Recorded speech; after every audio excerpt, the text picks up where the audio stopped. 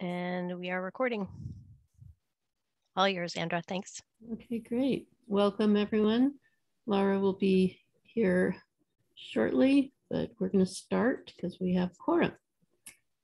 Um, so um, let's um, start with the, should we start with the minutes? There's no, oh, there is one public. We do need a minute taker. Oh, yes, our minute taker. Where, what's our, let's see, last time is Dwayne. So next on hmm. the list is Jesse. Yes. Oh. Are we just going down the list? Yes, think and so. Jesse's not here yet. Okay, then we skip to Steve.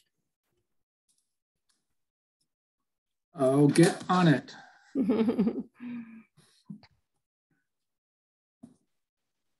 just going on the, the list of committee members that we have in our minutes, going down in order, because seems like that's how we're doing it. All right, Taking Um, minutes, so so, under control. so Steve's gonna take the minutes, and now we will, um, people want to take a uh, moment to remember your notes that you wrote to update the minutes from the last meeting, if any.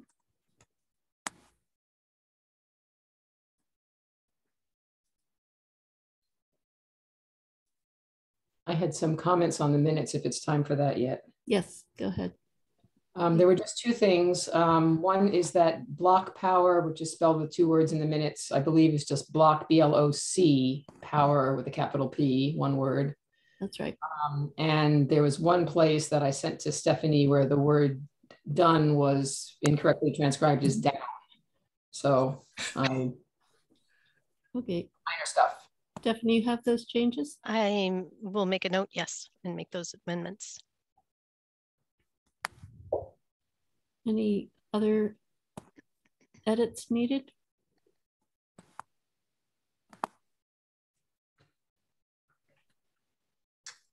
If there's nothing else, I'll make the motion to accept the minutes. Second it. Okay. Stephanie? Lori, was that you seconding? I'm sorry. Yeah. Okay. All right, uh, then I will do a voice vote in no particular order. Allison,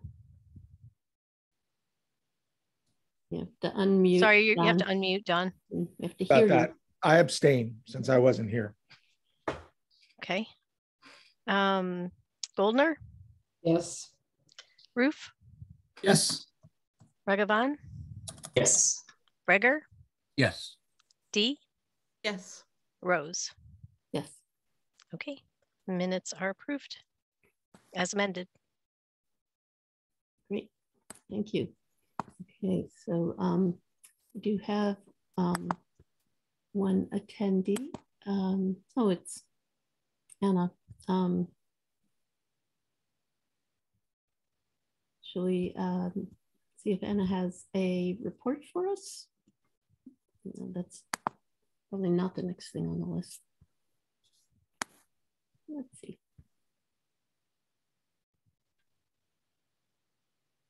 It's not public comment for Anna to speak. I don't think, I think we moved to public comment because this is essentially a pre-retreat meeting. Oh, So we changed it up a little bit. So the public Okay, comment is being held to the end. Let me just get that up then. I have town council liaison update is the second item anyway, right? Thank So- you. Yes. So I will Yep. allow So Anna to talk. Hi, everybody.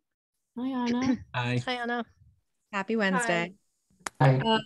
so just a couple things, mostly continuations. I know I threw a lot at you last uh, last meeting, so hopefully I will not always have so many things to throw at you. But um, today, Stephanie and Laura, I believe, received a note about the rental registration bylaw. Um, so the Community Resources Committee, which is chaired by Mandy Jo, is taking up that um, rental registration bylaw essentially to replace what we currently have. And so they um, they have developed a work plan for how they're going to go through it. Um, and one of the things I was at the meeting and I, um, uh, I encouraged them to specifically add you all to their list on the work plan. Uh, they were, they were talking about doing sustainability implications as an internal discussion. And I was like, well, hang on, we actually have a, a whole group of people that that uh, does this. So um, they have added you all to their work plan. So for better or for worse, you are now involved in that process. Um, and so what I believe that they have uh, proposed, and Stephanie, please feel free to correct me if you have a different understanding, um, is that they would love Stephanie to attend uh, one of the meetings on March. Nope, that's that already happened one of the future meetings, sorry, I don't have the date in front of me, uh, that is specifically about sustainability implications uh, of a rental registration bylaw.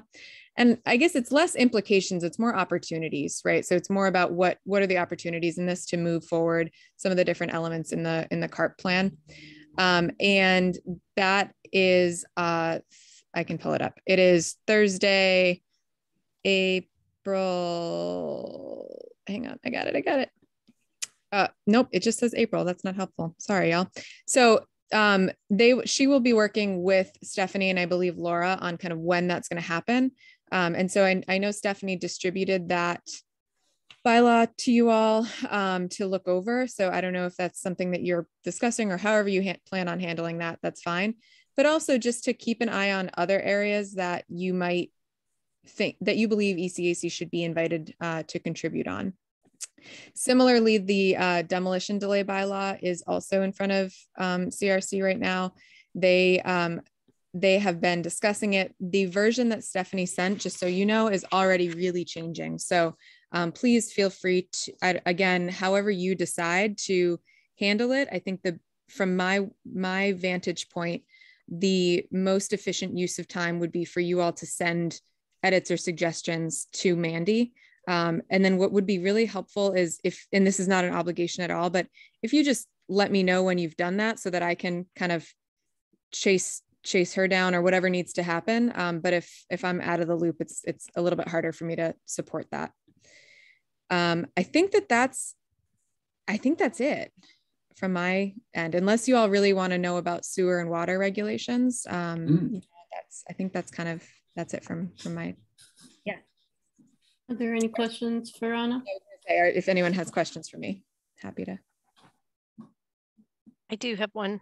Yeah. Um, Anna, in terms of um, getting feedback, would it be easier for the ECAC um, to send comments to me to collect them all in one response package to Mandy Jo rather than individuals reaching out yes. at separate times? Please, please, please do that. Um, I think that would not only be just generally easier, but also would kind of solidify you all as a as a as one voice versus random input. So I'm sure Laura will want to add this to an agenda. And I know she's already reached out to Steve. Steve, I don't know if you wanted to weigh in or say anything about that. I, I just saw the message that she sent about an hour ago. Um, so I'm happy to weigh in to some degree. Great. I um, think it would be important, Steve, for you to, um, introduce the idea that um, we've been working on, right? To have rentals be more efficient. Mm -hmm. Um, the only other thing that's that I know you all do know about is the um, solar bylaw working group is looking for people. I know that Stephanie and Laura are going to talk to you about ECAC representation, but we are also looking for two resident spots. So if you could spread the word on that, it would be hugely helpful. Um, we'd love to get some knowledgeable uh, folks in those seats. So please, uh, yeah, feel free to share the share the information on that. It's all on the, it should all be on the town website. Um, and then the only last thing is that we are heading into budget season. So um, the this obviously does have some implications for you all, uh, although I believe, Stephanie, most of the things you all look for are in the capital, the JCPC, the capital budget. Um, so if you would like to, I'm happy to send Stephanie an overview of kind of where, when the process is playing out. Um, the finance committee sees different parts of it at different times, and then it comes all before the, the council um, throughout the month of May. So if you are interested in more details, I'm happy to give that, but it's something where I think uh, we want to keep an eye on the again implications of the budget on how we're moving forward in the in the CARP plan and things like that. I think that's everything. Does anyone have any question, any other questions for me or anything you would like to see me doing?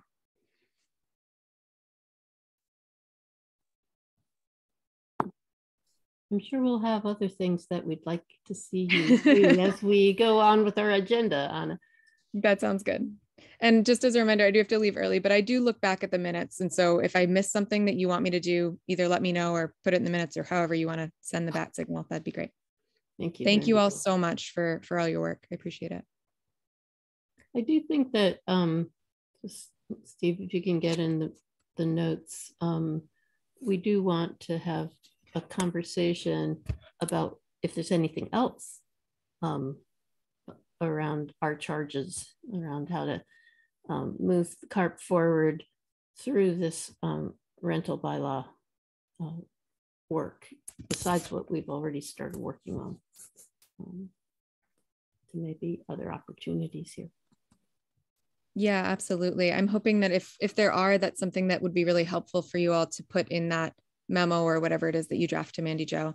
Um, they really are kind of building this thing up from the ground, so it's a it's a very good opportunity um, to move. Yeah. The, um, the uh, timing, we, Yeah. Um, the timing of it is, hang on, let me pull up my little my little sheet again. Sorry. So they are hoping to speak with you all in April. Um, they're going to have um, the sorry, I'm, I'm trying to make sense of this. All right, so they're talking with you all at some point in April. They're talking through goals for the revisions, a general discussion on that, uh, and the types of licensing and things like that throughout April. In May, they're going to reach out there to the Board of License Commissioners because there's so many different aspects of rental registration. Some of them are truly regulation and, and licensing. Um, and then they're going to have start to have public input in late May.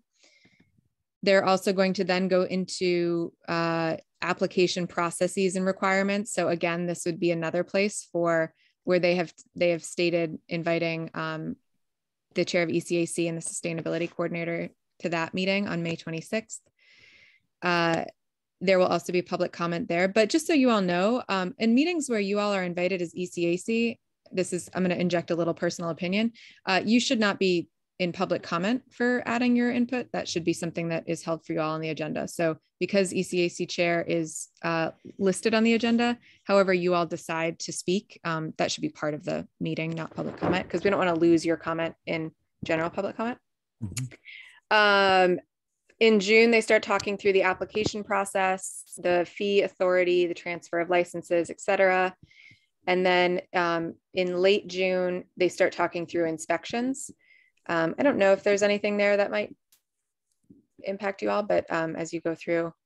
And then in July, they start, they wrap up inspections and um, and start in on violations.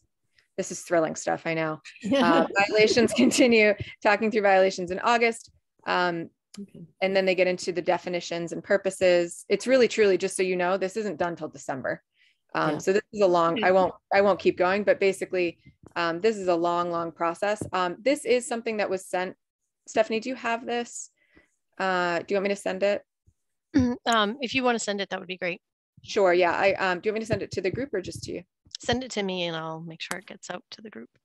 Great. Yeah. Um, so this is in public record. This was something CRC discussed. So it's not, this isn't a secret. Okay. Um, and there's lots of, because nothing, nothing we do in government is really a secret. Um, so the, uh, yeah, so that is, Okay.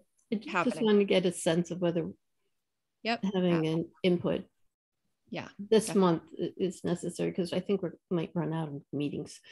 I will say this month is the one I- I truly think that a general input this month on areas that you like if you look at that and say here are the future areas where you should be talking to us um, Mhm. whether it's inspections whether it's registration that's in my mind what would be helpful to do this month more than anything else right. does that make sense So there, it might be necessary for um, some proposals through the um, buildings ex electrification accelerator group first and, and, and then maybe bring that to ECAC sooner than later. Yeah, I think it, it needs to go to you all sooner than later because essentially what you're saying now is here's where we need to be consulted as you build this. Right. Um, that's that's the important. It doesn't necessarily need to be the exact specific things right now, but um, Great. yeah. Thank you. Yep, you're welcome. Um, yeah, so Laura's here. Laura, we've done the first two um, items on the uh, meeting agenda. If you want to take over, you can. Great, thanks, Andra. I'm sorry I'm, I was late. Um, okay, so I guess I'll turn actually over to Stephanie maybe for the vote on appointment to the solar bylaw working group. You want Sure. to do staff updates first? We don't have Uh, that on the agenda this time. Oh, I'm sorry. I'm- If I'm glad anybody has anything quick they want to add, feel. Steve, did you have something burning to? No, Okay, I was just going by last month's template. okay. Yeah, just real quick, Laura, I noticed that uh, Hadley's having a climate day on the 23rd of April. It's going to be a day long 10 to 4 event. They're bringing in a panel of experts. They have workshops and some exhibits as well. So it's going to be held at the Hadley Senior Center and Hadley Public Library Complex. And it does require registration because it's going to be limited since it's indoors. I'm not sure. Uh, it, it is. Yeah. Oh, it is. Okay. Yeah. Dwayne? You just remind, and sorry, I, I, this will be real quick, uh, because we want to get on, but, uh, did remind me, I did, was approached by, a approached by a student group who was interested in potentially, uh, some activity with the town on Earth Day. And I was like scratching my head, trying to remember if, um, there was going to be any like Earth Day celebration in Amherst or whether it was on, uh, COVID lockdown still, um, for that. We're not having a, the town is not sponsoring an event this year. Yeah, But exactly. Because we are UMass still on COVID. is, sorry, go ahead. I was just going to say because of COVID, but go ahead, Stella. Oh, yeah, I was just in an Arboretum, UMass Arboretum Committee meeting this morning and UMass is definitely doing stuff. Yeah, Uh, this- as yeah. well as Yep. multiple like Arbor Day stuff spread Okay. out over the second two weeks of April. I think the Earth Day stuff is gonna be kind of tied in and all. Um, There getting is pinned one- down over the next week or so. There is one Earth Day event that's going to be um, a flash mob Earth Day dance on um, uh, during the farmers market, 11 o'clock on the 23rd, first day of the farmers market. That didn't come into my uh, feed yet. Okay. Dwayne, you better be there. Anna has her hand up.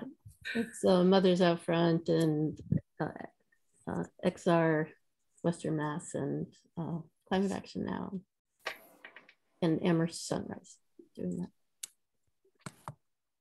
Yeah, Anna, did you have something to add?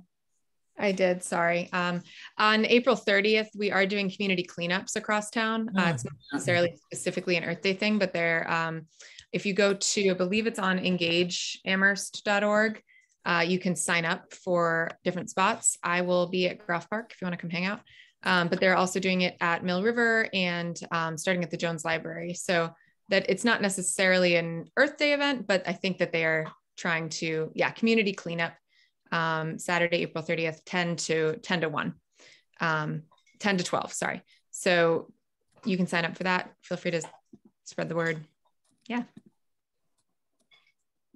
Awesome. Okay. Um, Stephanie. Sure. So the, um, I sent everybody, I forwarded you the email from the town manager um, that he has finalized the charge for the solar bylaw working group and he's requesting um, representation from the five, I believe, five committees, ECAC being one, someone from the planning board, front, someone from the conservation commission, someone from the um, Board of Health, and then also someone from the, um, uh, I'm sorry, I always forget their name, but they're the Water Protection Supply Committee, or Water, Water Supply Protection Committee. Um, in any case, there would be five uh, representatives representatives appointed, one from each of those committees. And so tonight you have all been asked to um, either nominate someone, volunteer yourself, but then have a vote as to who would be the person to represent the ECAC on the solar bylaw working group. I will also note that you all will be part of the review process. So even if you're not going to be on that, you know, as part of that working group, your liaison will be bringing back information, getting feedback from you, and certainly there'll be drafts of documents for you to review and weigh in on. So as a committee, so um, I just wanted to note that. So I guess I would ask, does someone want to nominate someone or does someone want to nominate themselves? It, we've talked about it a couple times and it seems to me it makes most sense for Dwayne to be our representative. Um, but uh, Steve's also worked on it, so. I, am uh, I'll throw my hat in the ring uh, and say I'm I'm willing and able, um, and, and, I hope capable. uh, um, uh, um, uh, but obviously, um, uh, welcome other nominations as well. Um, what I would say is that I, would be excited to, to uh, represent ECAC and and um, be diligent in reaching out uh, to everybody on the committee and, and in these meeting in, in the ECAC meetings to to uh, go over what we're we're working on and decisions that have to be made. Um, I, I would view it as being representing ECAC, not not myself. So uh, and uh, I know there's other people on this committee that would have a lot to um, offer uh, in that regard. Uh, so I'd be really um, keen on, on that. Um, I will say I, I, I'm, I'm not a uh, zoning expert, but I've read zoning, uh, solar zoning bylaws and have sort of looked, looked at, um, um, worked with the Pioneer Valley Planning Commission on some surveys of, of zoning bylaws. So I'm familiar uh, uh, to some degree on on on on the uh, issues that come up. Um, and you know, just from my current work and my DOER days, I know my I, know how to um, language that goes into regulation. So I think there's some similarities there with zoning language as well. Uh, but I'm also keen on other people's um, other um, nominations um, as well. I'll note too that you also don't need to be an expert on zoning bylaws to be part of oh, this working group because we, you know, the committee will be working or the group working group will also be working very closely with the planning board. Yeah. So a lot of that input is going to come from them. So you all won't be asked to be creating something out of the blue. We're actually going to be bringing a draft that's sort of um, started by the, you know, the planning board will be the draft that would come to the to the working group and the working group would sort of go from there. So it's not like you're creating everything out of the ether. You're going to have um, documents and um, to, to start great. from and work from. Yeah, great, great. And also I will note that this will probably be a bi-weekly meeting. Bi-weekly uh, are we trying to remember that? That's every other week. Every other week, yes. As long as, it, as, long as it's not Wednesday at four thirty. I, it, yeah, oh, yeah. It, well, it wouldn't that wouldn't work for me either. Yeah. So uh, and so you'll be on that as well, Stephanie. Yes, I'm. I'm actually. I'm. Yeah, I'm. Uh, Chris Brestrup and I, the planning director, and I are the two staff members that are basically right. overseeing this whole thing. Moving forward. So, um, so anyone else? Then I know Steve, your name was mentioned. I'm, I'm interested, um, but I had a, a, that was one question about the frequency of the meetings. Um, and previously, when it was thought that the solar study aspect was going to be charged with this committee to this committee, there was going to be some alternate weekly meetings for some on that committee. So, can you say, Stephanie, where the solar study is going to be done? It, it's going to be part of that process um, but because that what's going to happen is that that information will be fed to that committee. Um, what might happen is securing the consultant to conduct that will probably happen at the staff level is what I'm being encouraged to sort of have happen. Um, again, when we write the RFP, you'll ask, you'll be certainly asked to weigh in, but that RFP may get looked at by the solar bylaw working group. But mm-hmm. um, mm -hmm. as far as the process of like interviewing the consultant and that kind of thing, there may be a representative. I would certainly advocate for Dwayne being in, involved in that process, um, even if you weren't on the solar bylaw working group. Um, but I don't think there's going to be there. It won't be something that that committee is going to be as engaged in as developing the bylaw. So, so how much would the ECAC be involved in that developing the solar studies? Is that going to be handed over to the consultants and then we'll get a report? Or are we going to be involved in You'll you'll be in it? you'll be you'll have some help in shaping it. You know, it'll be you know, similar to it won't be exactly like the CARP, but similar to the CARP process is because I'm the one overseeing that piece. So I will be coming to you all for your input and guidance. Um, so. And then is the consultant also going to help with the community input aspects of the solar by bylaw development?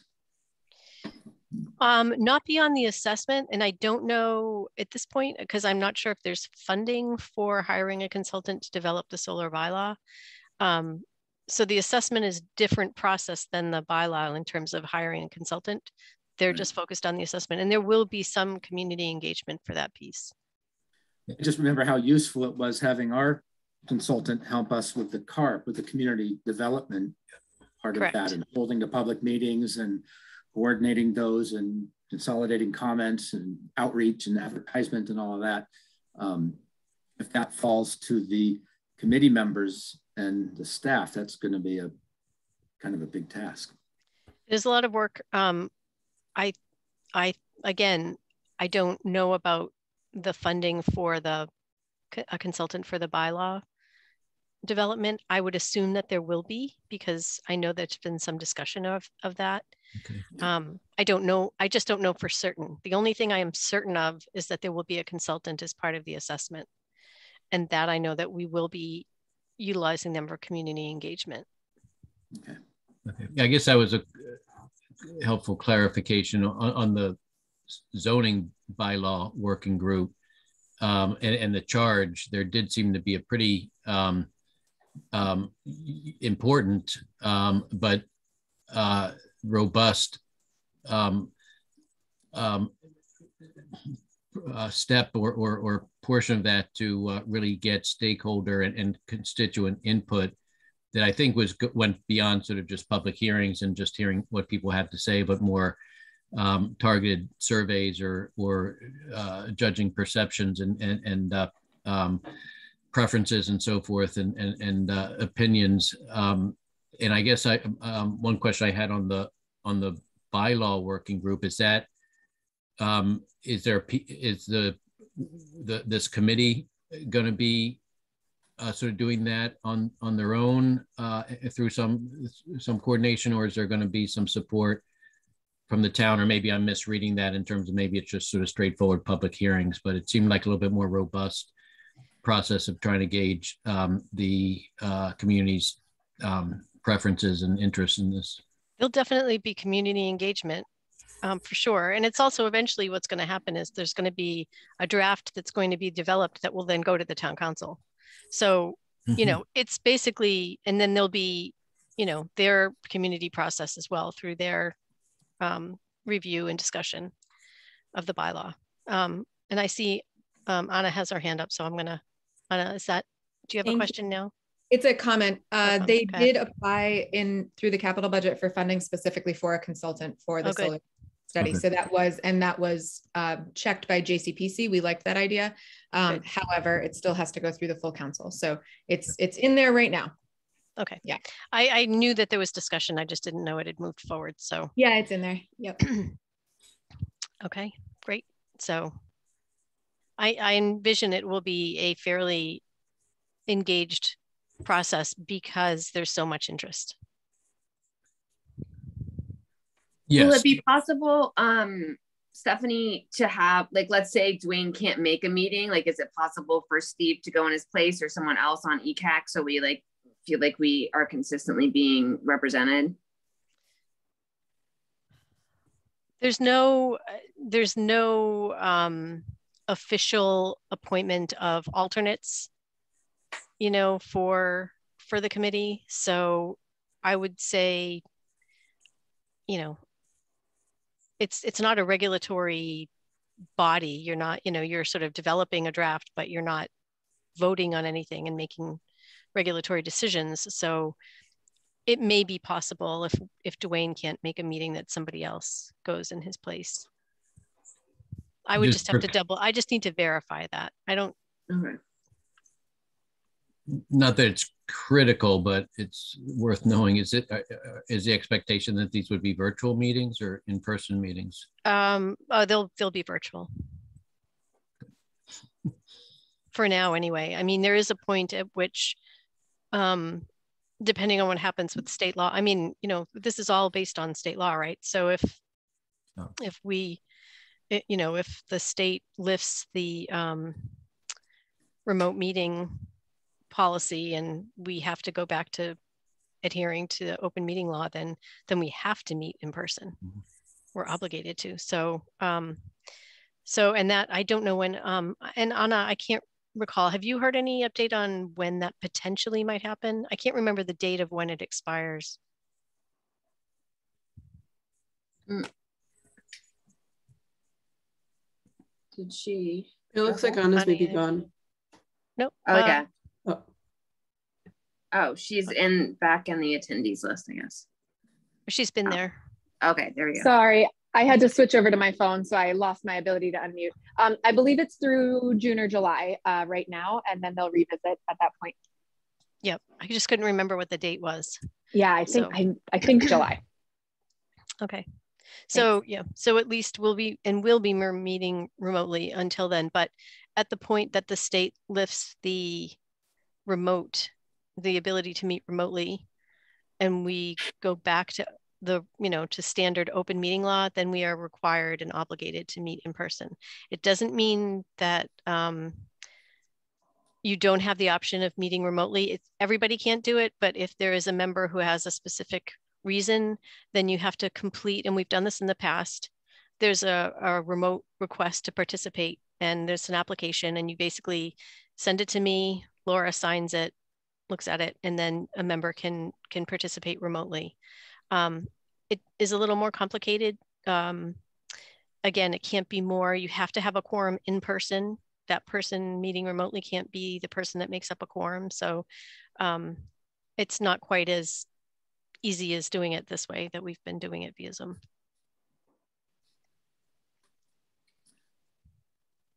So, okay, then it sounds like Steve, go ahead.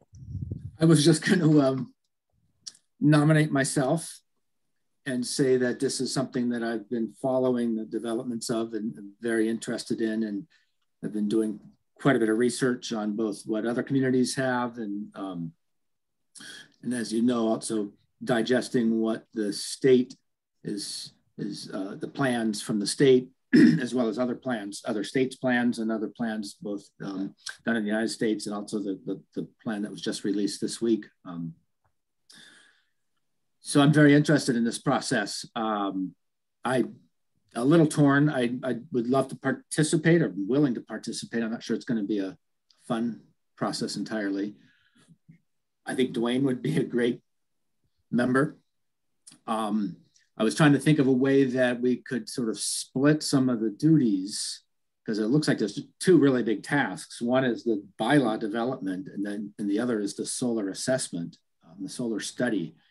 And I have some, I want to make sure that the questions that get asked as part of the solar study before it even gets started are, are critical questions. Um, because that, that there are questions I think we need to ask that are probably not typically part of a solar study.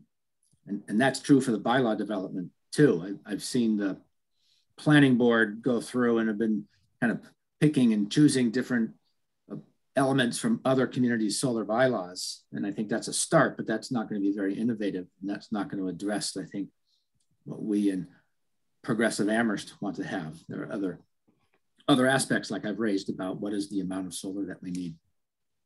So there's, I, I, feel strongly about some of these things and I'd be happy to serve on it. And this will then give us a chance to have a vote. but if there's a way that um, one of us can be an official member and the other support or take on tasks of the solar study, I think that could be a great way to split the workload. So yeah, I don't know in terms of how that works as an official committee that's being appointed by the town manager. I don't know that you can necessarily both serve and split tasks, but you know, again, I do believe that there's a role for the ECAC and that some of the work will be coming back to the ECAC or requests for guidance or input. So as I've said numerous times, this person isn't going to be, that's not going to be the only time the ECAC has any connection or ability to influence the development of either of the assessment or the bylaw. You'll be weighing in through the whole thing. You know, at every step of the way, information will be coming back to you either through the appointed liaison or myself. So um, I just want to reassure all of you because I think, you know, others have opinions too and will want to weigh in. So I just want to be clear about that. So as it stands now, then both Roof and Breger are interested in serving on that committee. So is there anyone else? Can I? I don't know Go ahead, Don. Oh, Don. Sorry, I, I, I missed the little button to raise my hand. Um, I, I, Stephanie, maybe you can help me out. I, is there an issue like for which whichever one of the two that are now interested is chosen? There's no reason that whoever is chosen can't consult pretty intensely um, with the one who isn't chosen, um, independent of whatever comes back to us. I mean, I, I would presume that either Steve or Dwayne would want to spend some time. Whoever was going to be representing us in that committee would want to spend some time with the other, um, n- not just coming back to us as a committee and giving us other other chances, but I don't I don't know why the two couldn't work together. To be honest with you, it's just that one gets to go to the committee meetings and be the mouthpiece um, for us. I agree. I'm familiar, I, am familiar with being mouthpieces. That's all. So. Mm-hmm. Yeah. I agree. I would also just really encourage public process too. You know, so it would be really helpful to have some of those conversations um, in in public session too, because that's also how other people understand what the issues are. Um, and how you're sort of working that through. I think that's an important piece. So um, it's, I don't disagree that that can't happen. I'm just saying that that's also, you know, I don't personally, I think that's fine. Um, just, you know, remember about public process and transparency for others too. So any other comments? Dwayne, you have your hand up. Yeah, I just wanted to, before we vote, also publicly state that I think Steve would be a great candidate, great uh, uh, uh, uh, mem member as well.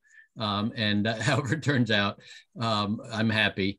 Uh, but also, um, I also appreciate what Don just said um, in terms of, um, you know, because I think both Steve and I have some subject matter expertise and and interest and and and familiarity and, and specific issues that want to be addressed that that um, um, I wish we could somehow serve to, together. Uh, but in either case, whoever is appointed, it would be great to, to work together um, in ways that may be a little bit more um, robust than, than what we can sort of just uh, on a bi-weekly bi-weekly basis uh, discuss with the committee, so the, the ECAC would, committee.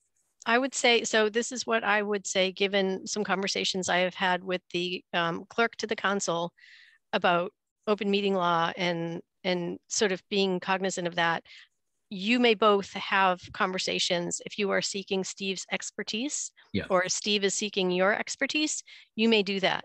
What we cannot do as a committee here is assign you both to that task and then you become an official subcommittee. So we cannot do that. Yeah. So I would say that you can informally together whichever of you gets appointed, if you want to speak with the other one, do that informally outside of meetings. You can bring share that expertise, but you cannot work together as an appointed body. Right. Does that make sense? Yeah. Okay. Just two All right. professors having coffee. That works. So Okay. Basu, you had your hand up. Yeah, when do we have to make that decision? This decision on who's going to be part of the working group?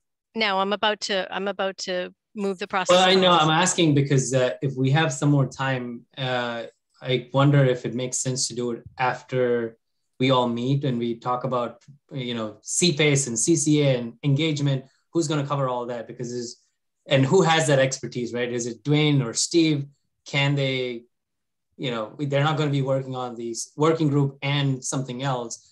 You know, if if Steve has better uh, relationships with the community, maybe Steve is better suited for engagement, right? I, I think both are capable. I, I, I just think there's other things that we need to think about as well before uh, thinking about whether it's going to be Dwayne or Steve. Unfortunately, you don't have the luxury of time. Mm. The town manager would like the, um, someone within the next two weeks and would like to start moving this process forward. So the longer we wait, we can't wait for our retreat to make a decision. No, but we're about Under- to just at least discuss the um, Yeah. different topics. Oh, you're saying so at the end of this meeting?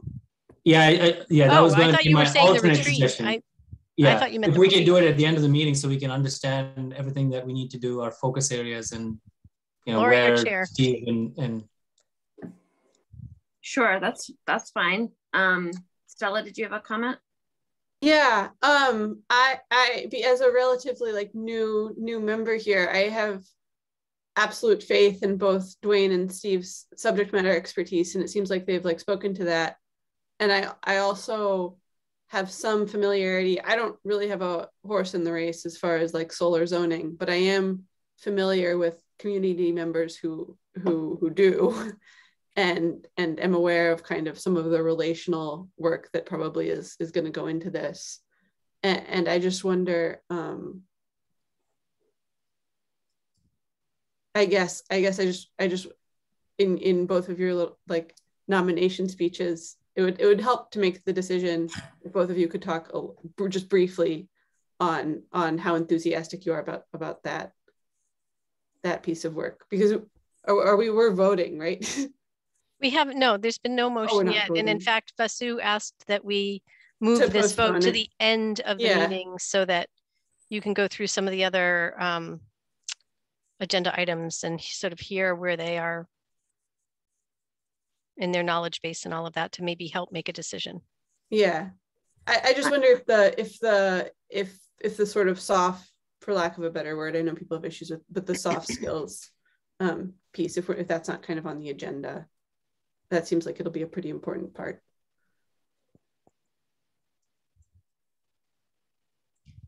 I, Okay, Laura, so I'm to you now.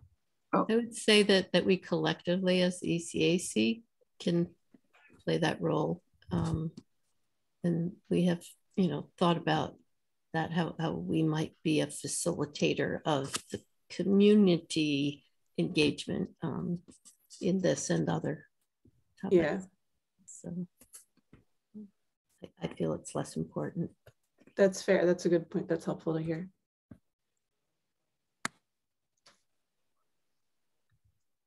Okay, so we're gonna vote on this at the end. Is that, are folks okay with that? All right.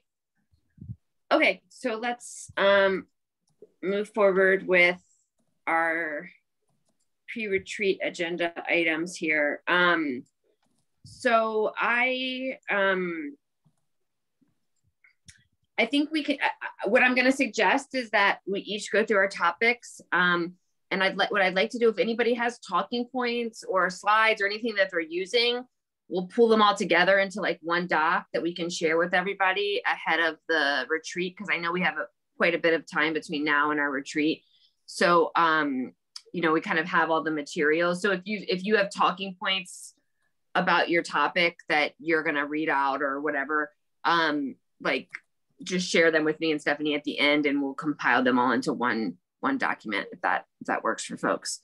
Um, and since we have a lot to go through, I think we'll just leave questions as clarifying questions for now and then you know jot down any questions you have and we'll spend some time at the start of the retreat like making sure everybody's feels comfortable um, with everything but the point of this is just to like level set make sure we're all on the same page of what the charge of, of ECAC is the process we went through for the CARP um, and sort of some of our ideas around organization and then some key initiatives that we've been working on um, so with that, uh, Stephanie, I think I sent through some slides to Stephanie that just lay out the elements of the charge um, that I, we can go through quickly. Um, yep. Thanks, Stephanie. Just give me a moment. Sorry, I'm just gonna get this going.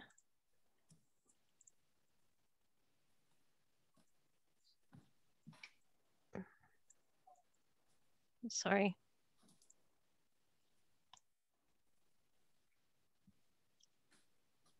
Okay, so I just need to get to the beginning.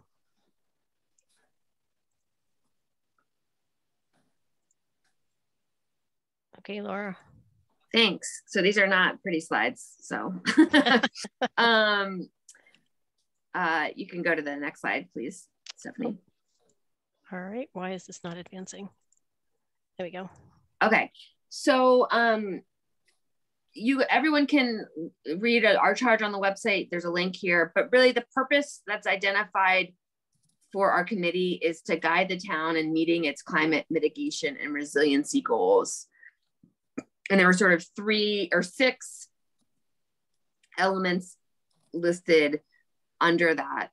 Um, recommend goals, recommend um, like sort of re recommend a plan and prioritization for efforts to to reduce our emissions and build climate resiliency. Um, these first two are kind of both goals. Um, and because one's long term and one's medium term. And so we've we've kind of done all the all three of these. The first two we did in our first year where we got the town to adopt our targets, which if I remember correctly are 25% reduction by 2025, um, 50% by 2030 and then uh, full decarbonization or zero, I forget the wording we actually use, but um, by 2050, if not earlier. And those are aligned with sort of what the IPCC and the science says we need to do globally to reduce, to have a best shot at, at limiting ourselves to the from the worst impacts of climate change. So I think we've accomplished these three these three things. Um, and then there are three more things in our charge that we're still working on, which are on the next couple of slides. Sorry, I don't know. There we go. Um, I think four, we've also done a bit of, done a significant amount of through our CARP, um, which recommends programs and policies. I think we all agree that there's more granularity and, you know, detail that need that's needed on all of those. And so that's part of the our future work. Um, there's a point made in the charge that we sh we should propose as necessary to either the council or the manager different ways that um, implementation could happen around the carp and our climate plan. Um, and these are some of the items that are listed there. Next slide please.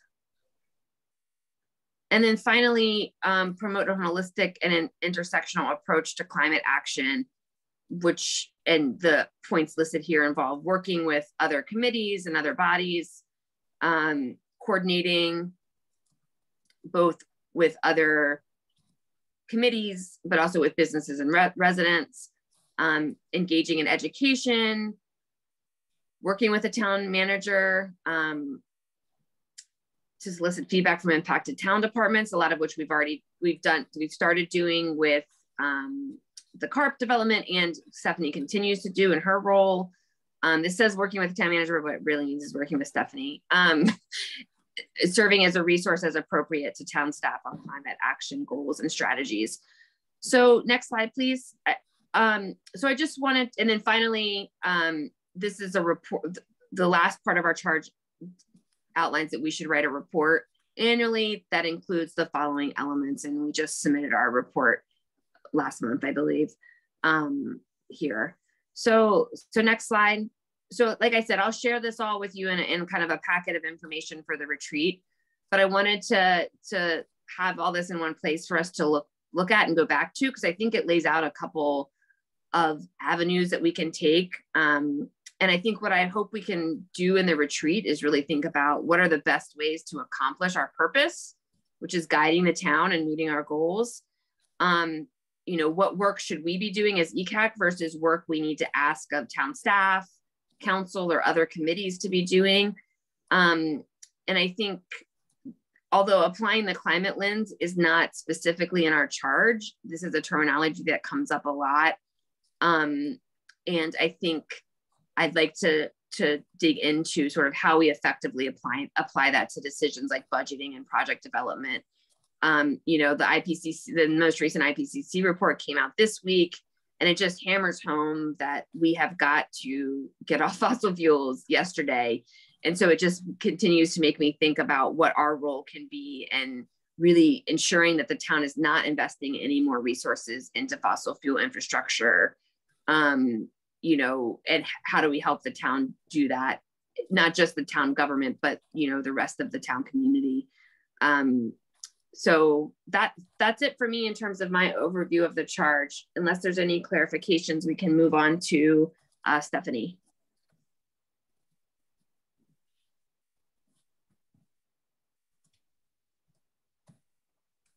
Okay, great. It's really helpful to have that outline, Laura. Thank you. Yeah, and I'll share it with everybody at the end.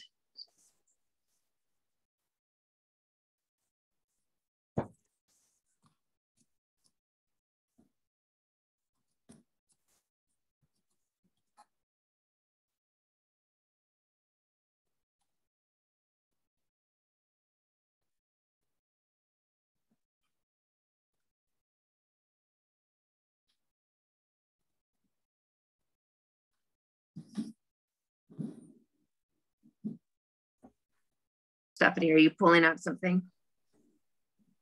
Oh, I can't hear you. You're not muted, but. I am muted, sorry. Well, oh, okay. it's muted on my headset, sorry. Um, yes, I am pulling up something, so just bear okay. with me one second. I'm sorry, I'm having some technical challenges here. All right, I'll just do it this way. All right. Um,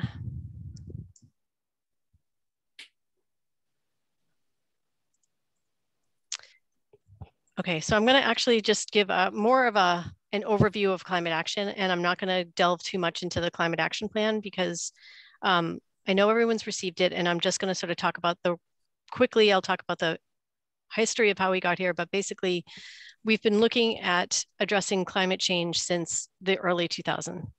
You know, in 2001, we came up with a greenhouse gas emissions inventory. Um, we had a student uh, fellow work on that one summer. And then by 2005, we developed a climate action plan. Um, that climate action plan was developed with very little engagement with the community. Uh, there was initially a um, an energy task force group that consisted of roughly 20 people at the beginning. And by the time we got to developing the climate action plan, I think we were down to five people. So there wasn't a lot of um, there wasn't a lot of engagement. There also wasn't a lot of buy-in or really support for that process, to be honest. So um, even though it focused very much on the um, municipality and the three institutions of higher education in town, um, a lot of things that were proposed were things that that happened and were being done. But you know, as we all know, over time things change, technology changes, goals change, and so that plan is really at this point both the inventory and the plan were heavily outdated um, and not really so relevant and there wasn't buy-in as I said. So in 2012 we really shifted our focus um, when the Green Communities program was launched in the state.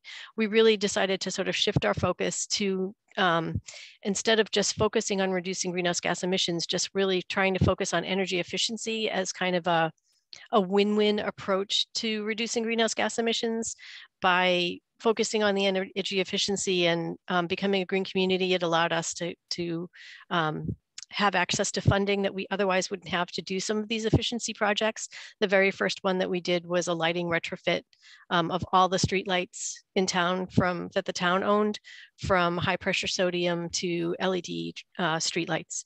Uh, that was a very significant project and um, had you know had some quantifiable um, impacts for the town.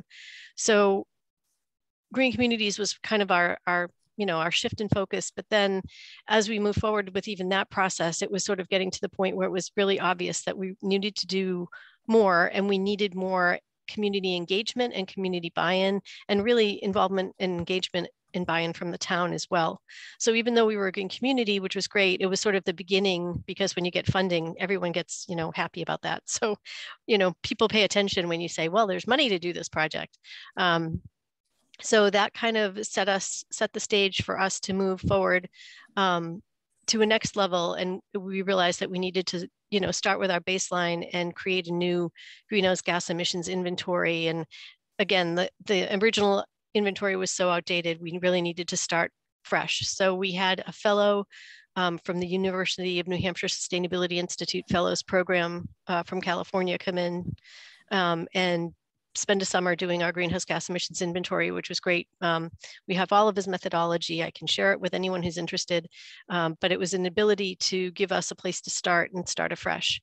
Um, and at that point, we knew that we were needing to move towards creating a, a climate action plan again. And so we sort of started through the um, municipal vulnerability programs um, planning grant process, which allowed us to gather community members and stakeholders within the community to identify what the community's vulnerabilities are or were at the time or still are at the time um, uh, to identify those vulnerabilities as they um, pertain to climate change. So things like, for instance, you know, um, flooding, uh, increased heat days, increased storm events, um, infrastructure damage, those types of things were identified through that process. That was through a series of meetings. That was the beginning of our opportunity to try to look at doing the outreach a little differently. So um, a community member was engaged to help out with um, some of the what we called the information sessions, where community members were invited to come out and sort of talk about all the vulnerabilities um, and all of that information. So we had the sessions with stakeholders that was by invitation. Then we had the community sessions. All of that information was pulled together and we had um, a, a, report of findings that was then published. Um, again, anything I mention here, if anyone's interested and you want access, if you don't have it already, let me know and I will get it to you. Um, these would all be helpful to have prior to the retreat. Um, from that process, we moved then to apply for a 2019 MVP implementation grant. Um, the implementation grant is the funding that helped us to develop our climate action plan. So we specifically asked, requested for $100,000 to develop a climate action, adaptation, and resiliency plan. And that was something that was recommended from the planning grant process. So there had to be some continuity between the planning grant moving into the implementation phase. So development of a CARP was something we identified as being a primary um, driver for moving climate change, uh, addressing climate change within the community. So that process was um, also, again, we engaged a community member to assist with that um, implementation grant as well. We hired a consultant, Linnean Solutions, for those of you who were not members at the time. Um, they worked with us.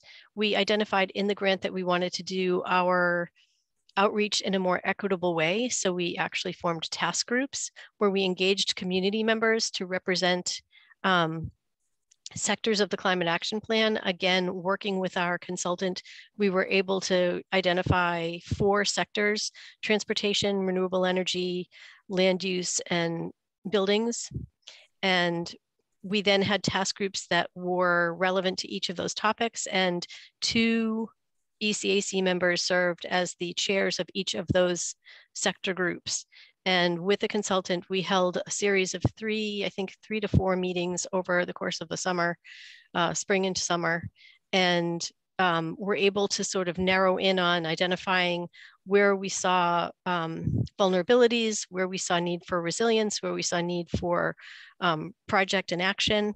And all of that information was gathered and and that's when you look at the climate action plan, all of that in each of those sectors, basically that work stems from primarily the work of the task groups, but then we also engaged the community at large. We also engaged staff and department heads um, in the municipality as well to contribute to the formation of the projects that are identified in each of those sectors that are in the climate action plan. One, I will add that we also, because of our process, added a, a, fifth sector, which was basically governance and communications. And that really stemmed primarily from the whole community engagement piece in the task group process of the need for the community to be engaged in the work that's happening in the town and for the communication to be um, enhanced in a way that was it was accessible to all. So our meetings included interpretation when we had members that needed interpretation. Uh, we did have in the beginning, we had a member who uh, required um, sign language. So we had someone who was able to interpret with sign language. So um, we did our best to address the needs of those members who were engaged in the process. Um, and moving forward, we wanna make sure that in the work that we do, you'll see that equity is a huge piece of, or um, a huge uh, priority that's that's infused throughout our climate action plan. Um, and then I will say, then we moved on to um, once we had that um, implementation grant. The one of the first things before we even developed the climate action plan was that we had to go to the the town council and identify our target goals of climate reduction. So we um, proposed the 25% reduction from our greenhouse gas inventory baseline emissions, 25% reduction by 2025, 30, uh, 50% by 2030, and carbon neutrality by 2050.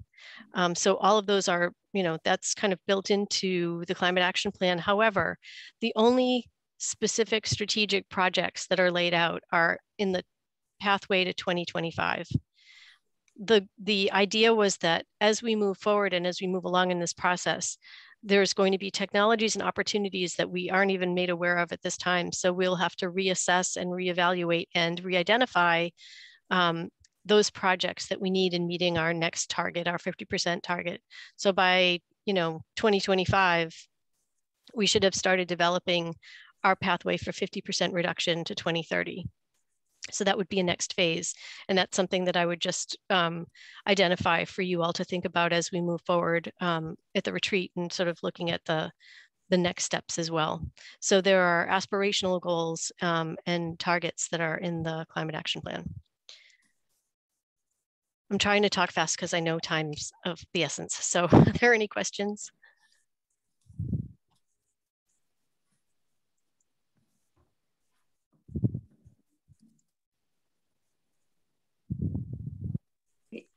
Thank um, you, Stephanie.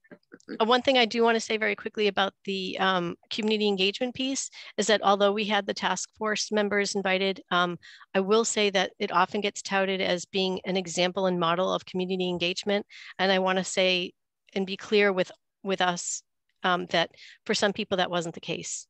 Some people that were participating in the process didn't feel that we engaged in quite, um, didn't feel as sort of uh, engaged in a way that um, they had hoped. And so I just want to put that out there that it's an it's a model and we learned and there's more we can do. And now the town has um, a DEI coordinator. So we do have um, more of a lens on equity infused in the town now, I think in a way that we didn't have before. And I would say that, you know, our process was certainly one of the first real attempts at trying to make that happen.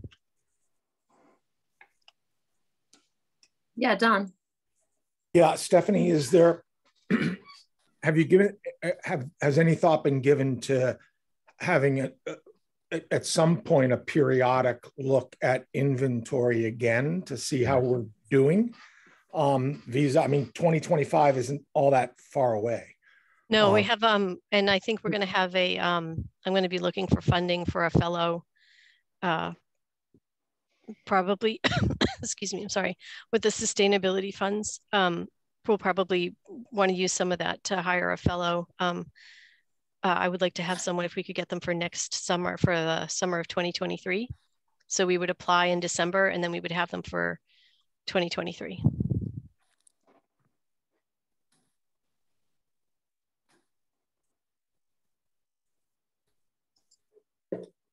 Okay, great. Thank you, Stephanie. That was really helpful to get that history. Um, so next we'll go, um, Steve, if you wanted to give, uh, talk a bit about the organize, organizational structure of ECAC, sort of what, what the next step beyond the CARP, I guess, was like trying to think through how we would organize ourselves. We never quite got there, but um, we're going to this time. Okay, um, we did not include um, a document shared in the agenda packet, did we? Oh yeah, no, uh, you're right. We did not. Remember. Cool. I think we That's included fine. it in a previous one, but we'll include it in the packet we share with, for the retreat. Sure. Then what I was my my idea, and this will be something to discuss at the retreat, is that our I think our organization has been good, but I think what I've noticed is that pretty much all national, state, international climate plans refer to several pillars of decarbonation, decarbonization um, strategies. Um, those are electrify everything, increasing energy efficiency, expand renewable energy sources, um, that sort of thing. So I thought it might be helpful for us to organize our efforts and goals under these widely used pillars. Um, and I've heard from people in town and feel myself and sometimes people like well you're doing this but are you doing that? Are you, are you working on energy efficiency? It's like well yeah we are but it's not under one of our current headings. So i proposed um, five headings or five um, head, headers i guess of what we could do in no particular order. One would be education and outreach. Second would be renewable energy development Third would be electrification. Fourth would be energy efficiency improvement. And a fifth, re resilient lands and healthy living.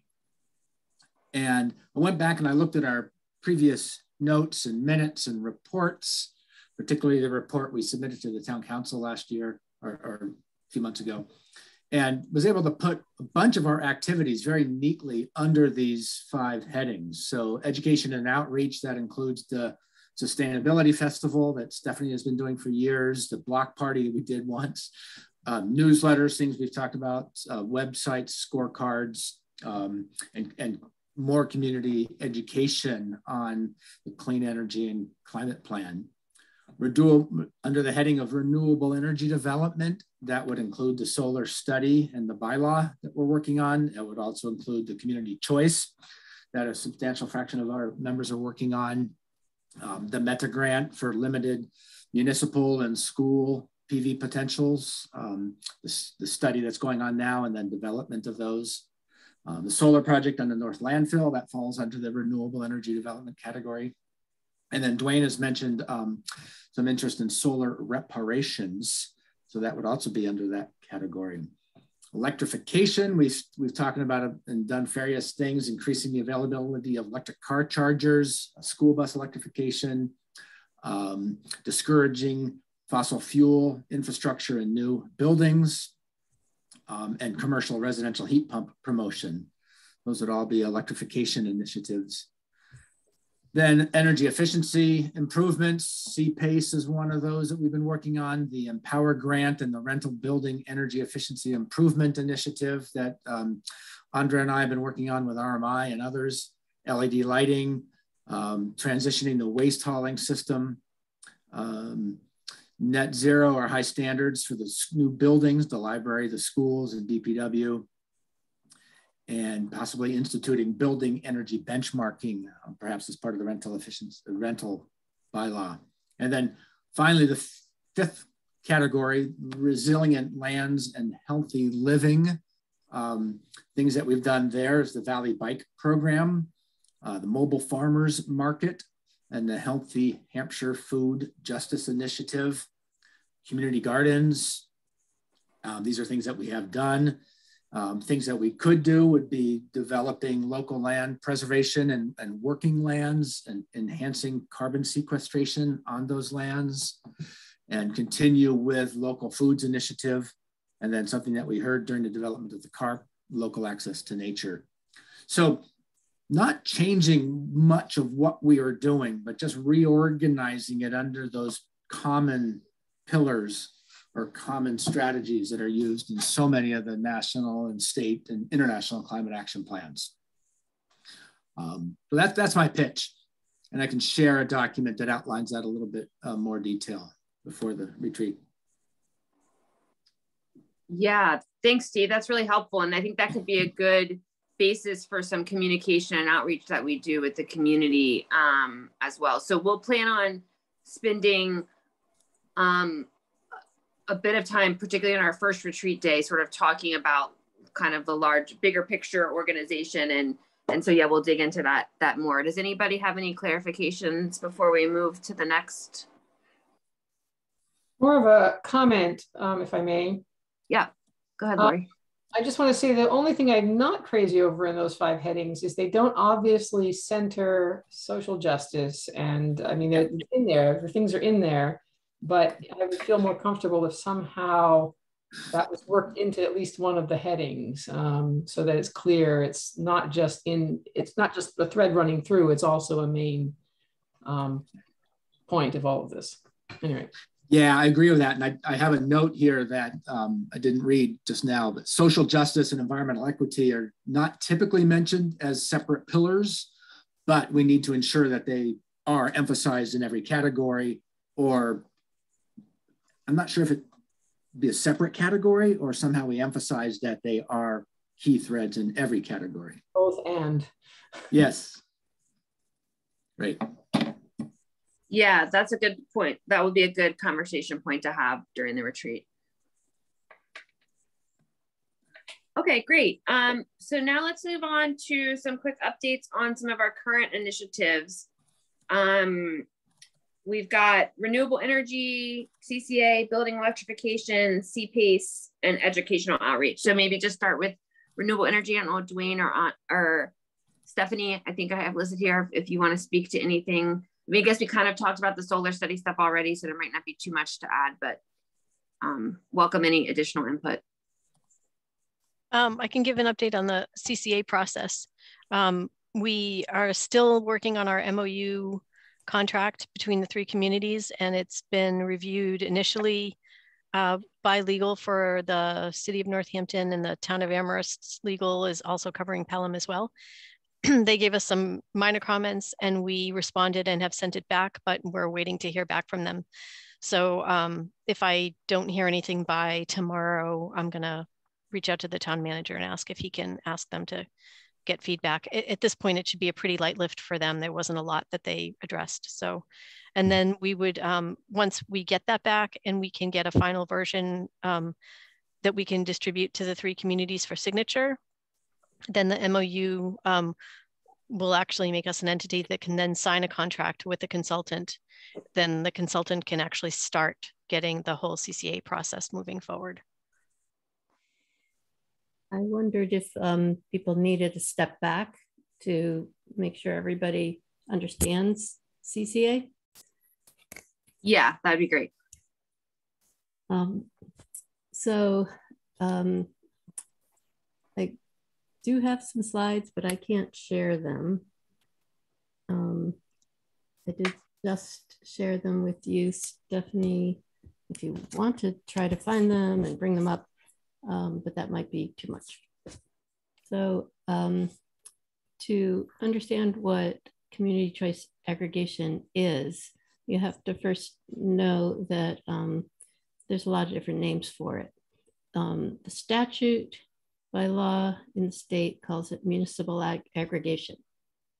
Um, it's commonly known as community choice aggregation, but also community choice energy. Um, they're all the same thing.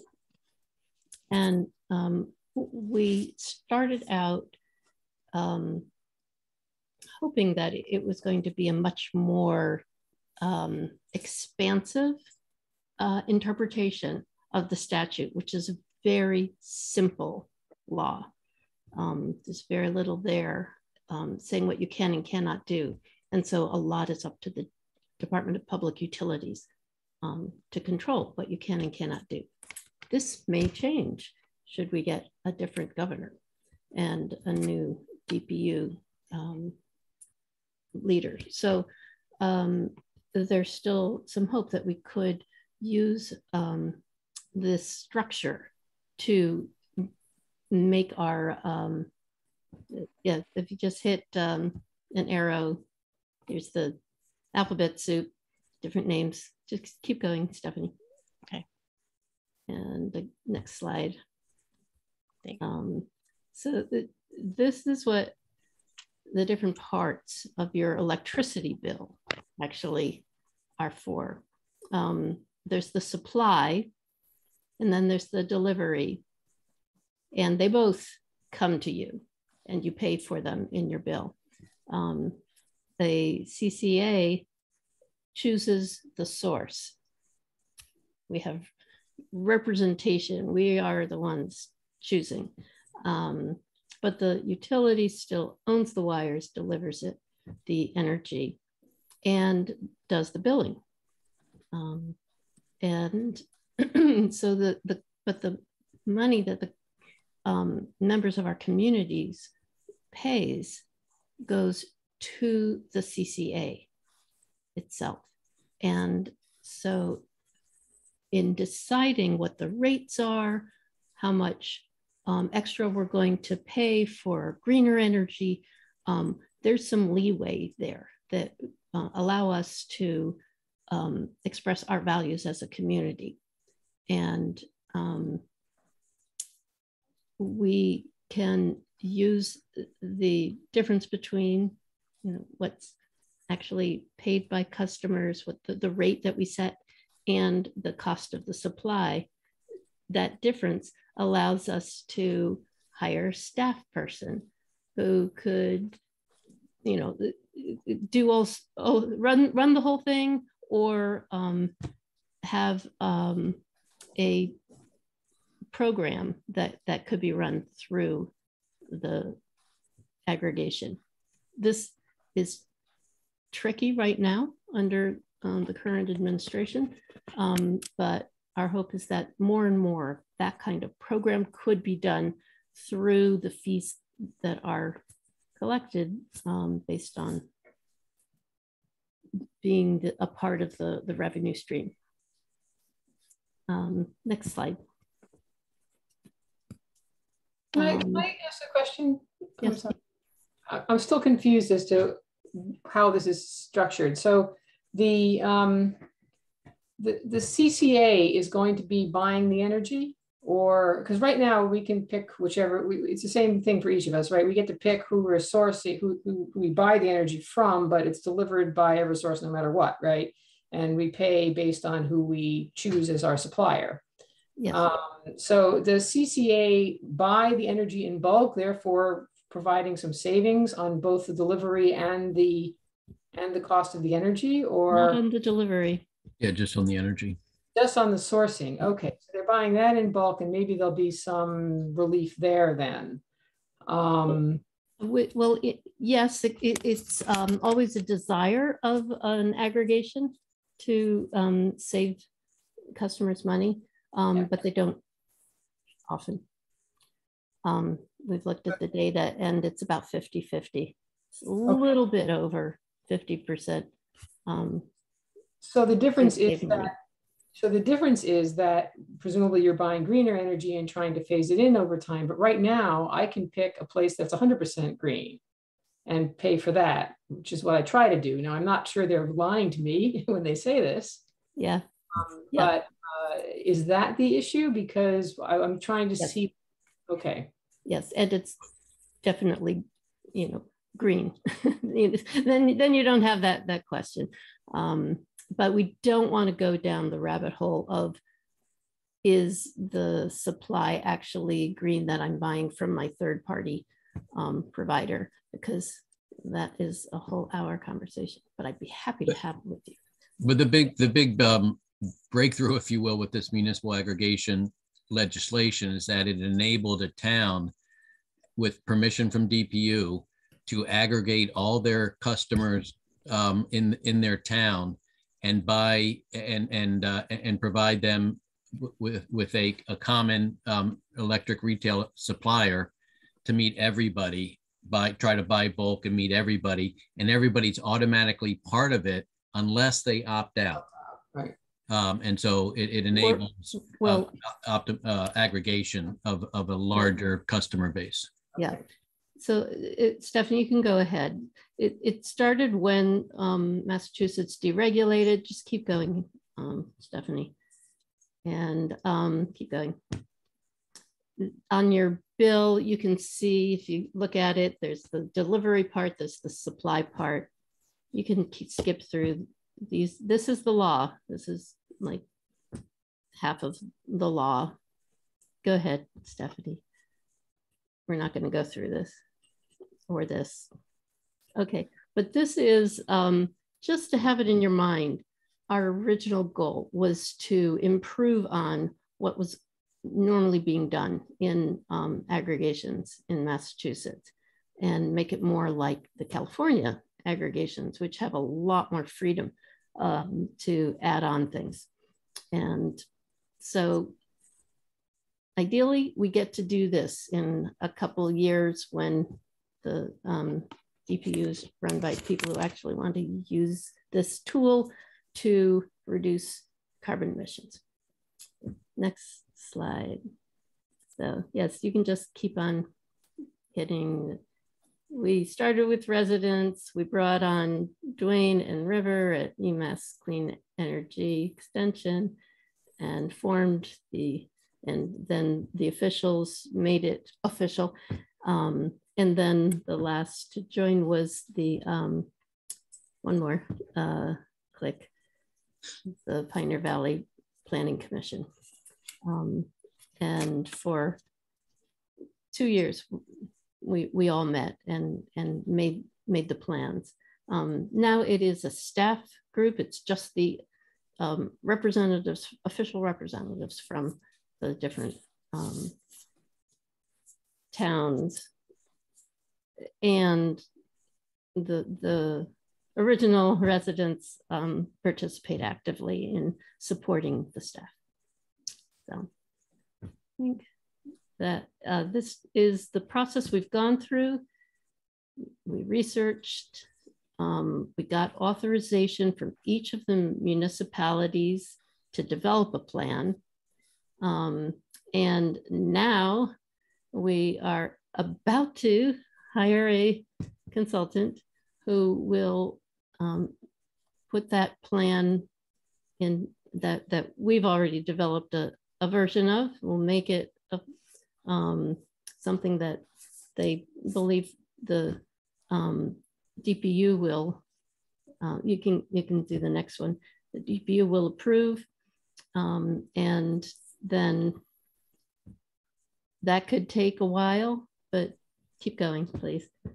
Um, once the DPU approves it, then we can start with um, hiring, not hiring, but contracting for the supply. Go ahead, Stephanie Moore.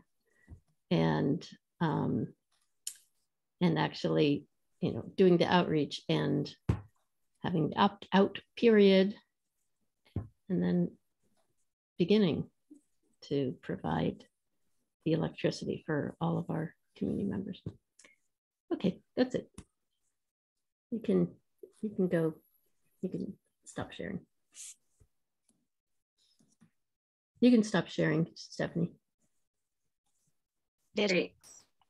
Thanks, Andra. Um, yeah, so I think during the retreat, it'd be great to talk through, we sort of always talk about CCA as part of our sort of portfolio of things that we're trying to move forward and be great to think through some like tangible actions of, of what we what we could do there um, and sort of the timing of when that would be um,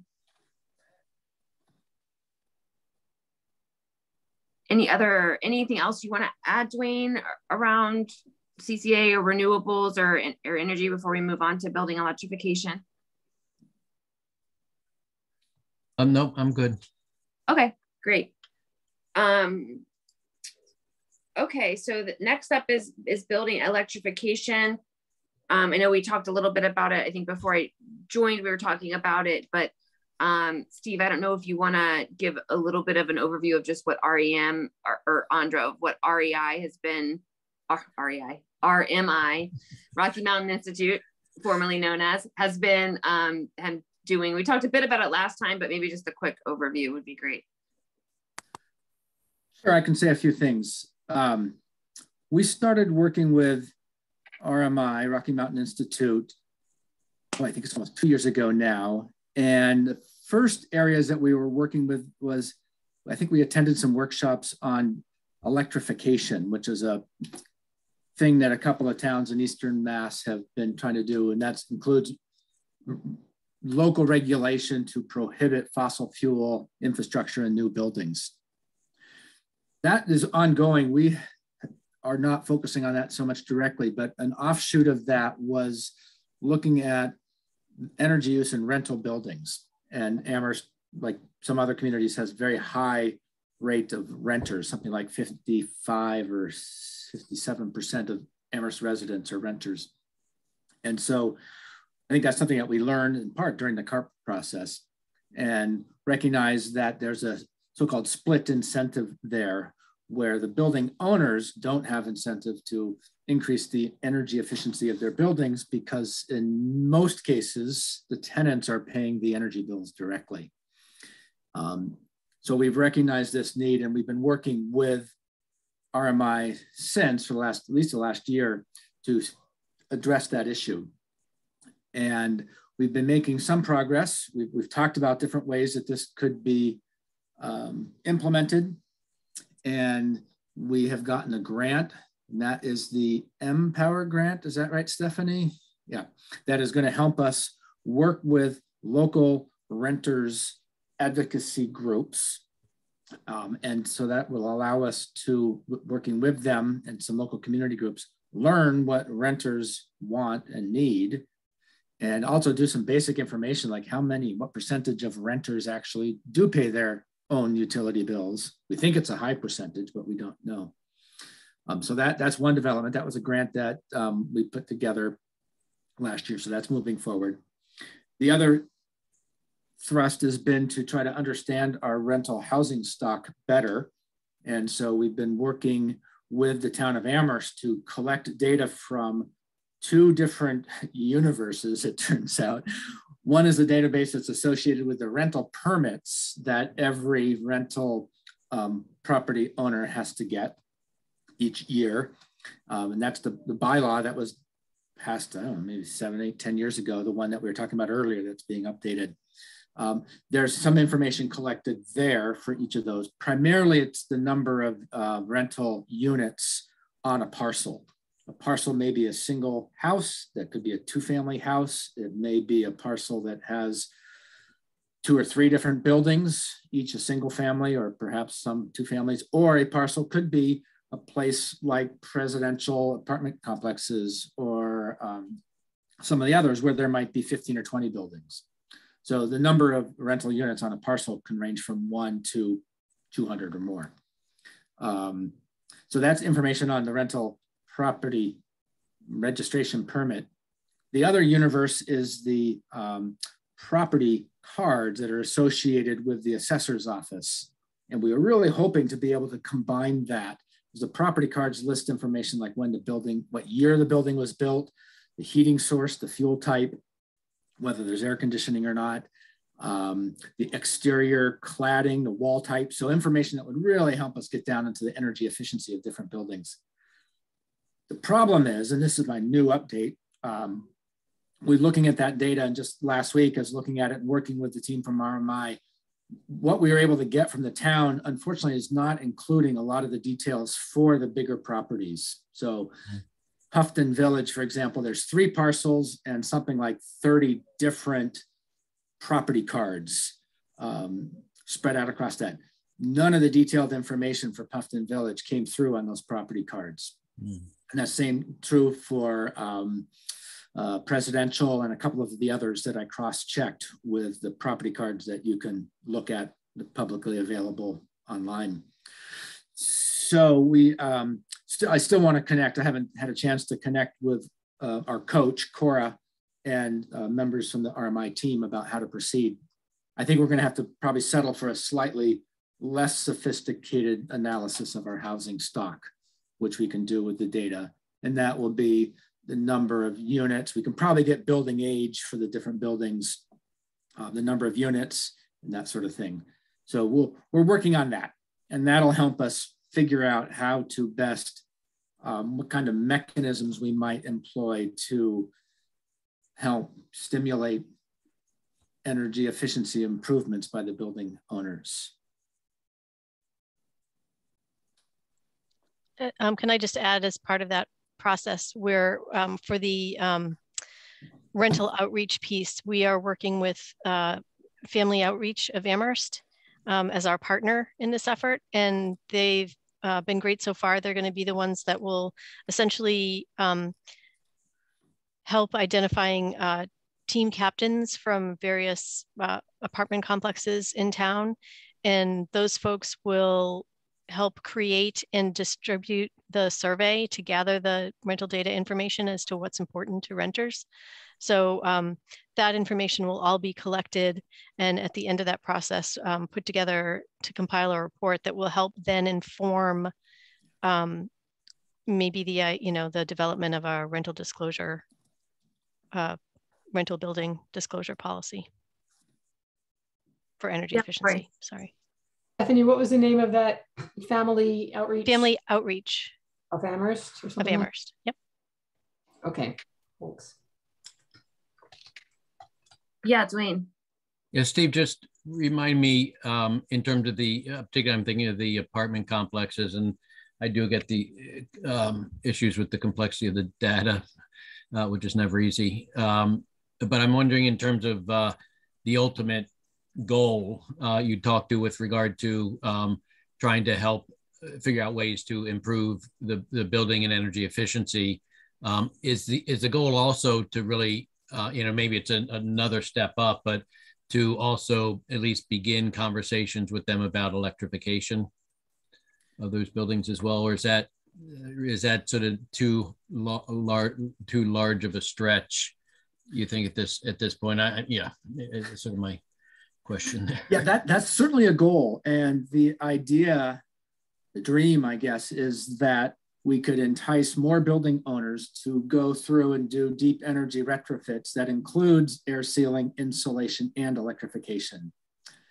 And I just read a really good story, um, and I can't remember where it was located, but I think it was in Massachusetts. A fairly large property owner went through and did that on some of their properties and learned a lot. Um, they added a lot of solar and it turned out it was really complicated because there were multiple meters and the solar interconnect laws didn't really work with that. And so the article describes how the building owners and um, I think folks from DOER or EEA, some of the state agencies and the utilities went through and hashed out a lot of these issues about how can you go install solar on units where there are multiple meters. And they're hoping that that will become sort of a template or at least a pathway better defined for other places to go forward. So yeah, the ultimate goal would be to, through structures like CPACE, the financing structure could entice owners to do that. And I'm hoping that we might find some local property owners that would be willing to go through the process and um, help identify those paths and then document it in a way that other building owners could follow. Um, that's the longer term goal. I think. Well, that's that's ongoing goal. The, the more immediate goal might be things like to, part of the rental, the new registration, rental property registration bylaw, would be to have energy use disclosures. Mm -hmm. So property owners would have to disclose the the costs of utilities, heating, cooling, um, water, um, to potential renters, and and then perhaps also a rating system um, and that would be a way to allow us to collect data for a few years. And then we might be able to start setting some standards and buildings that don't meet a certain energy efficiency rating would have to think of a way to incentivize yeah. them to improve their ratings. And there are some examples of places in other states, other communities yeah. that have done this sort of thing. Um, both through incentives as well as through regulations. Like in theory, you could say you can't have a rental permit if your building doesn't meet a certain level of energy efficiency. So those are the ideas that we're looking at. And um, but learning more about what the housing stock is like, um, what percentage of our buildings are pre 1950 and how many were built in the 70s where they didn't bother with insulation and how many are been built since the 90s that might be pretty good. That, that's got to figure that out. Great. Yeah, that leads nicely into um, CPACE, which I have the slides on it, but I don't think we need to pull them up. We'll just share them for the interest of time. But CPACE or com commercial PACE um, is a financing mechanism that allows community property owners to finance energy improvements for existing buildings over a long term. So towns in Massachusetts, this is a program that got started in 2020. Um, towns in Massachusetts opt in, and if you opt in, then building owners in your communities can access this financing. Um, it, says here to to finance energy improvements through PACE Massachusetts, a property owner agrees to a betterment assessment and lien on their property, which repays the financing. Um, so this approach enables owners to undertake more comprehensive energy upgrades with long, longer payback periods up to 20 years. And it also notes that if a property sells, the assessment stays with the property and is transferred to the subsequent property owner. So you don't need to be owning the property for a long you know a long time uh, which is i know sometimes a limitation. Um, so properties that are eligible for financing through this pace program are commercial buildings industrial buildings multifamily buildings with five or more units or buildings owned by nonprofit organizations. And the improvements that are eligible um, are energy efficiency upgrades renewable energy. And then this last one, which is not a good one, which is extension of existing natural gas distribution to a property. um, so we would want to discourage that. Um, there's been the first project funded through CPACE actually was just this past September. Um, and it was a building in Greenfield, or it is a building in Greenfield. Um, and so through Pace Massachusetts, capital provider Greenworks Lending will provide financing for a range of energy upgrades um, that were installed to this building, which is like an office building. Um, efficient electrification of space heating, energy recovery, ventilation, LED lighting and controlling, improvements to windows and installations, and solar on the roof.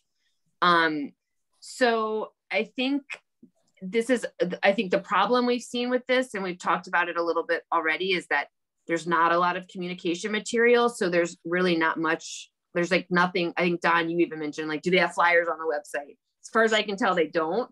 So i think one thing we should do is probably reach out to MassDevelopment who's running the program and ask them are they planning on doing more communications? I realize all this was launched during covid so maybe that has something to do with it but i think um, it's clear to me that if there's a ton of towns opted in.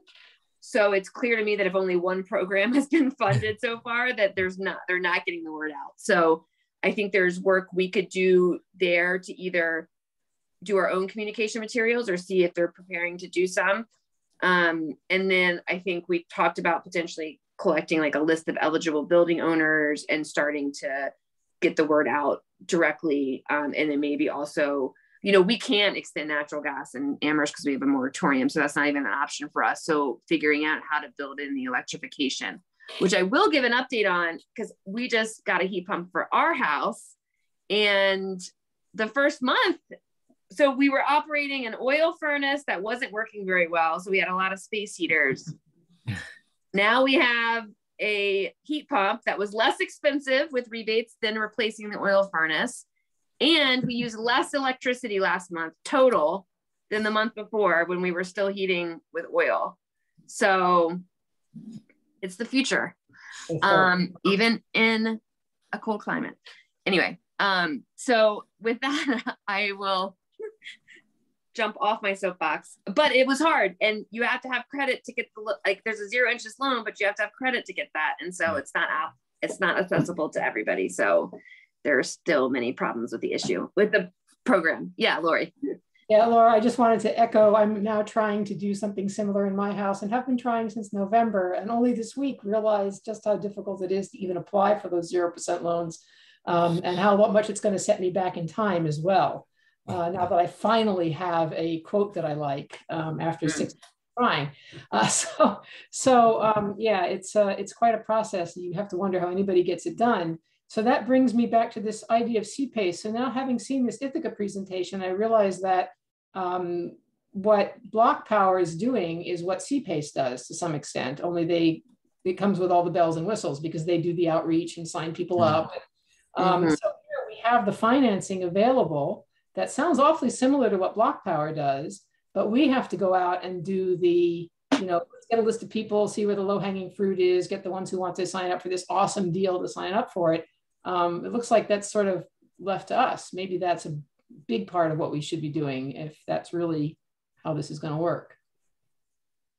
Yeah, that's a really good point. Yeah, Dwayne. I think that's a great point. Um, and maybe it's, you know, a role that we can play is sort of that packaging it up or we're trying to find some funds to get to, or through the CCA to uh, package package something up like this.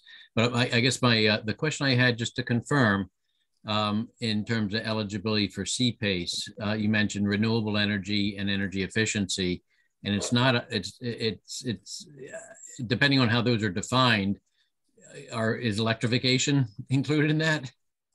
Yeah that that was my question as well. I mean it does it did say in the press release about the greenfield project that it included efficient electrification of space heating I don't know that terminology is a little strange, so I don't know exactly what that means. But we could probably reach out to the owners of the um, Greenfield spot and just like ask what that means. Um, but yeah, I agree with that, Dwayne. I think that that's, and then the inclusion of the natural gas thing makes me wonder because I know there has been some issues in the past with mass save and stuff sort of leaning, moving people more towards natural gas than towards electrification. So we should figure that out. Um, okay, in interest of time, I'm gonna maybe give the last five minutes to Vasu if he wants to say anything about educational plans, and then we will go back to our vote before we close up. Yeah, I was, I think about three months ago, I was trying to put a structure oh, to the your, your, your voice is weird again. it's a little robot-y. always happens. How, how about now? Still a little bit, yeah.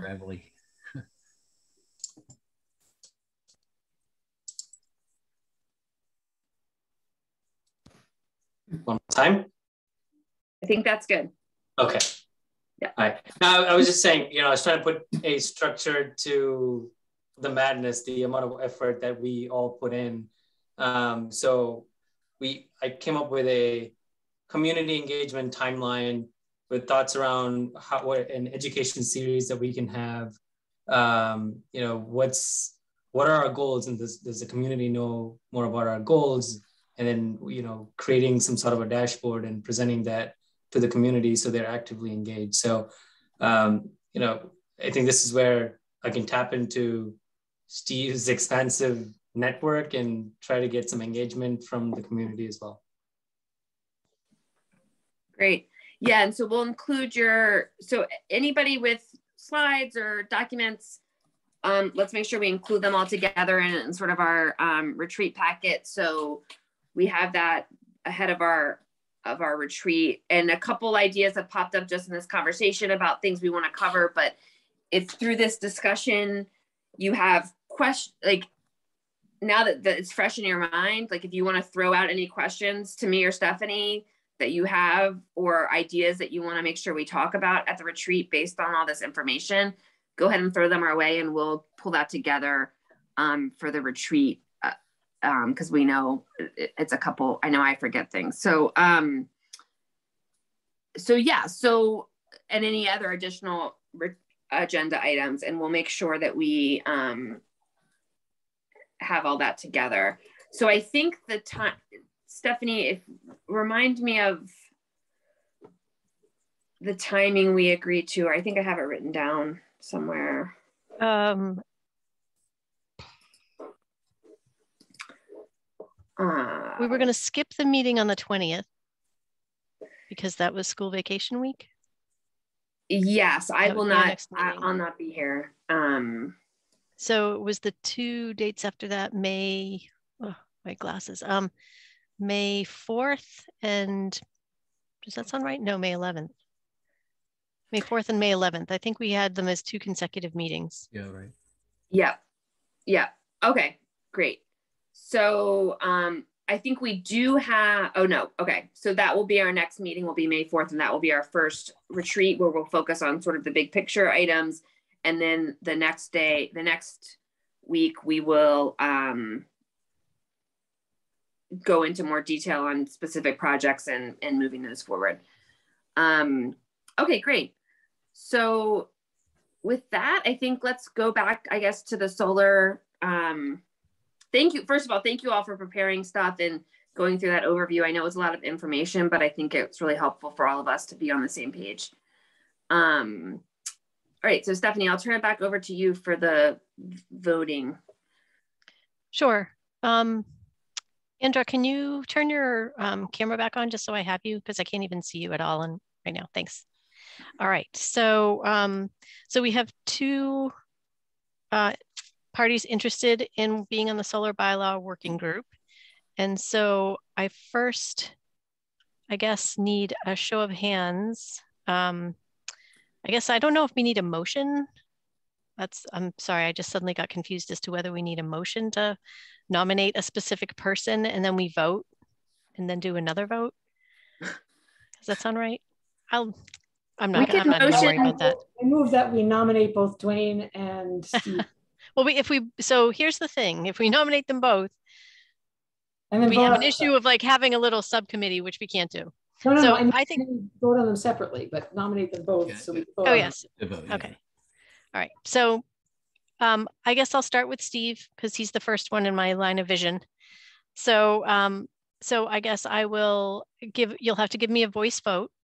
So um, I will go around and ask each of you uh, if you have an intent to vote for Steve. So remember, you can only vote for one. Sorry. All right. So I'll start with. Can we just, sorry, Stephanie, can we just say who we vote, like between Dwayne and Steve, who we Sure, vote for? we could do it that Okay. way. Yeah, I, yeah, that's fine. Okay. Um, I just need to keep track. So, um, Goldner, I got the sorry. Spotlight first. So I, I really think either of you could do this. Um, and I, but I'm going to vote for Dwayne. Um, Okay. Allison,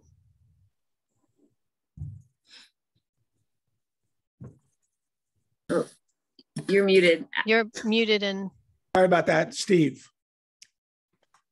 okay. Roof, I'm gonna vote for Dwayne. I knew that was gonna happen. Okay, Dwayne, Gregor, I don't know. I guess I'll vote for myself. okay. Stella, Uh, I'll vote for for Dwayne. Okay. Make it easier for everybody. And I know I'm wrestling contest here, right? Um, I'll vote for Dwayne as well. Draucker, Yeah, I'm gonna vote for Steve. and Rose. Dwayne. All right. Well, we have six for Gregor and two for Roof. But Steve, sometime I really want to talk to you about the Rocky Mountain Institute.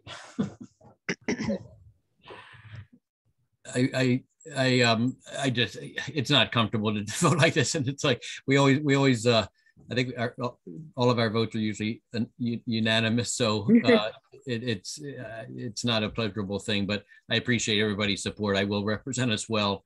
And, uh, and, and Steve, I, I, I really appreciate and respect your, um, not only interest and passion, but expertise, uh, in this area. So I look forward to, to uh, connecting with you uh, over coffee or something, or whatever, however we have to do that. Yeah, Steve, Yeah, you're not off yeah. the hook anyway. Yeah, I mean, yeah. you, if, if Dwayne doesn't come to you, I will be as well. So Well, I, yeah, I, I want to stay involved and, um, you know, perhaps this way I might be able to be a little bit more involved with the solar assessment. And as we are, con- went through our list of current initiatives, I realized I was involved in a fair number of things. So I, I almost withdrew my name before the vote there, but, um, so yeah, I'm, I'm looking forward to um, seeing you on the front lines, Dwayne, and I'll be helping you from the uh, back table of the coffee shop there. All right. Great. Um, okay, let's see if we you have Have one any- public attendee. Okay. Um, if anyone in the public uh, would like to make a comment, please raise your hand.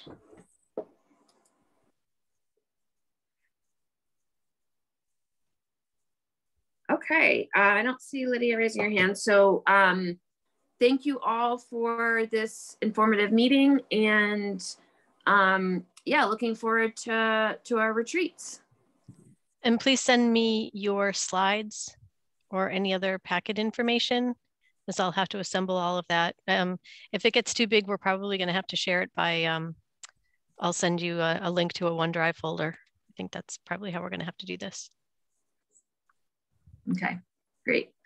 Um, and if anybody has any like suggestions on, ha- has been to any virtual retreats rec- recently and has any suggestions for things we can do, um, I know we're a little bit limited w- with our technology, but um, Like, you know, like games we can play. yeah, can or like different games. ways. Hollywood Squares. Okay. Yeah. We just can't do breakout. I mean, that's the thing. The limitation is, you know, the main major one is we cannot do breakout rooms. Mhm. Um, Were you able to do Stephanie like jam bo- jam boards? W- I They're would like think so. okay. I, I don't, I mean, I'll have to double check though. I don't know. I, I would think we can do something like that.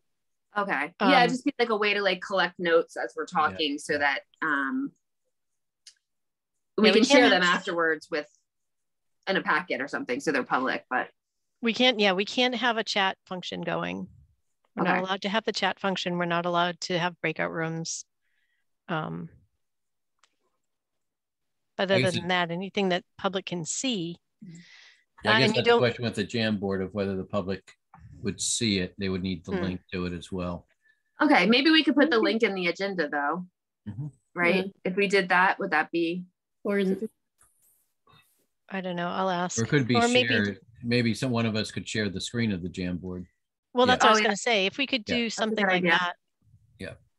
okay? I'll think on it a little bit. And if anybody has any other suggestions, um ping them to Stephanie and I and we'll see if they're doable. I can reach out to IT too and see what's possible. Okay, that'd be great. Um, okay, well, great. Uh, everybody enjoy um, the rest of your week and we'll talk soon. Thanks, Bye, all. everyone. Have a good night.